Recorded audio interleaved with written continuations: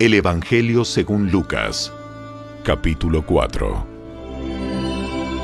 Entonces Jesús, lleno del Espíritu Santo, regresó del río Jordán y fue guiado por el Espíritu en el desierto, donde fue tentado por el diablo durante cuarenta días. Jesús no comió nada en todo ese tiempo y comenzó a tener mucha hambre.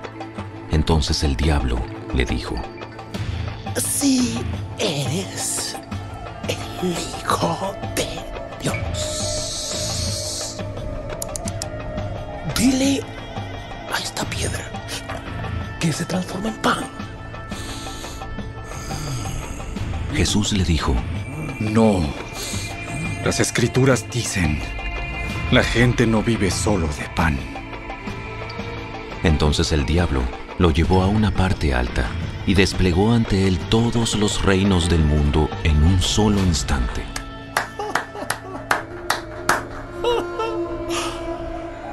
Te daré la gloria de estos reinos y autoridad sobre ellos, porque son míos, ¿oh? para dárselos a quien yo quiera. Te daré todo esto si me adoras. Las escrituras dicen, adora al Señor tu Dios y sírvele únicamente a Él. Entonces el diablo lo llevó a Jerusalén, al punto más alto del templo, y dijo, Si eres el Hijo de Dios, tírate. Pues las escrituras dicen, Él ordenará a sus ángeles que te protejan y te guarden. Mm, mm, Y te sostendrán con sus manos para que ni siquiera te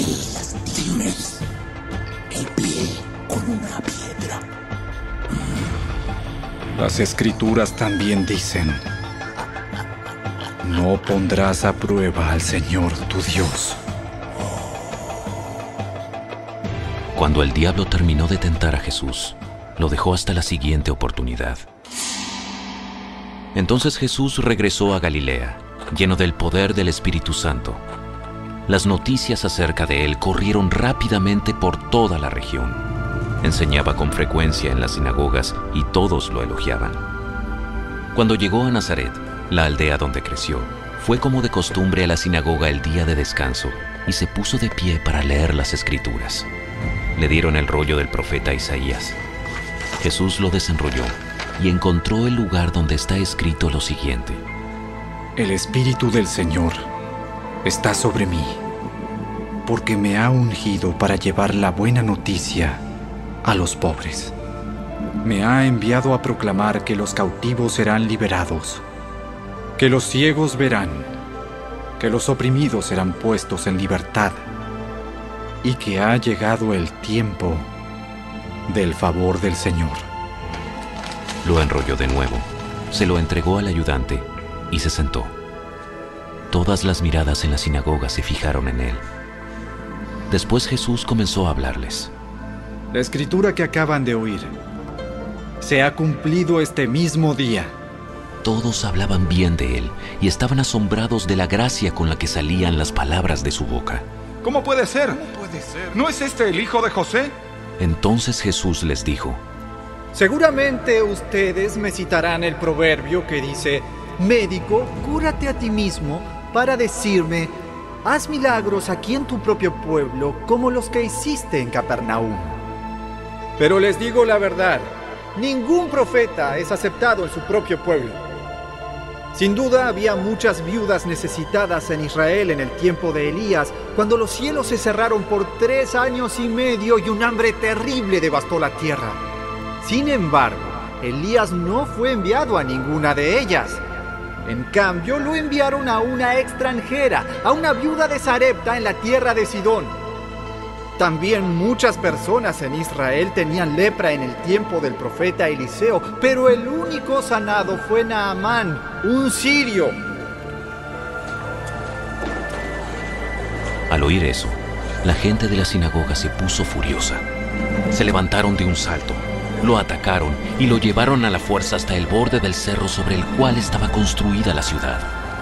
Querían arrojarlo por el precipicio, pero él pasó por en medio de la multitud y siguió su camino. Después Jesús fue a Capernaum, una ciudad de Galilea, y enseñaba en la sinagoga cada día de descanso. Allí también la gente quedó asombrada de su enseñanza, porque hablaba con autoridad. Cierta vez que Jesús estaba en la sinagoga, un hombre poseído por un demonio, un espíritu maligno, comenzó a gritarle a Jesús. ¡Vete! ¿Por qué te entrometes con nosotros? Jesús de Nazaret. Has venido a destruirnos. Yo sé quién eres. El santo de Dios.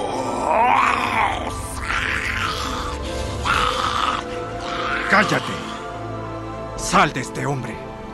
En ese mismo momento el demonio arrojó al hombre al suelo mientras la multitud miraba. Luego salió de él sin hacerle más daño. La gente asombrada exclamó, ¿Qué poder y autoridad tienen las palabras de este hombre? Hasta los espíritus malignos le obedecen y huyen a su orden. Las noticias acerca de Jesús corrieron por cada aldea de toda la región. Después de salir de la sinagoga ese día, Jesús fue a la casa de Simón, donde encontró a la suegra de Simón muy enferma, con mucha fiebre. Por favor, por favor, sánala. De pie, junto a su cama, Jesús reprendió a la fiebre, y la fiebre se fue de la mujer. Ella se levantó de inmediato y les preparó una comida. Esa tarde, al ponerse el sol, la gente de toda la aldea llevó ante Jesús a sus parientes enfermos. Cualquiera que fuera la enfermedad, el toque de su mano los sanaba a todos. Muchos estaban poseídos por demonios, los cuales salieron a su orden gritando, Eres el Hijo de Dios. pero como ellos sabían que él era el Mesías, los reprendió y no los dejó hablar. Muy temprano a la mañana siguiente, Jesús salió a un lugar aislado. Las multitudes lo buscaron por todas partes y cuando por fin lo encontraron, le suplicaron que no se fuera. Él les respondió, Debo predicar la buena noticia del reino de Dios, también en otras ciudades, porque para eso fui enviado. así que siguió recorriendo la región, predicando en las sinagogas de toda Judea.